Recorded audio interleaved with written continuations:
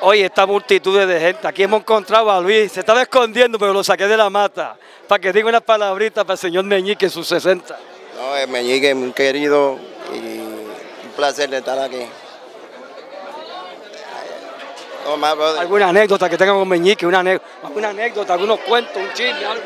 Oh, cuento no, cuento no tengo. Lo aprecia mucho. Bastante.